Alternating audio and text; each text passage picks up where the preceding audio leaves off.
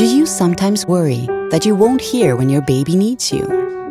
Perhaps your baby sleeps several rooms away and with the bedroom door closed. The Visit Baby Monitor detects when your child makes a sound, and the receiver notifies you immediately, regardless of where you are in your home. The baby monitor is completely wireless and can be easily placed on a table or mounted on a wall. You can set the level of sound needed from your baby to avoid unnecessary false alarms.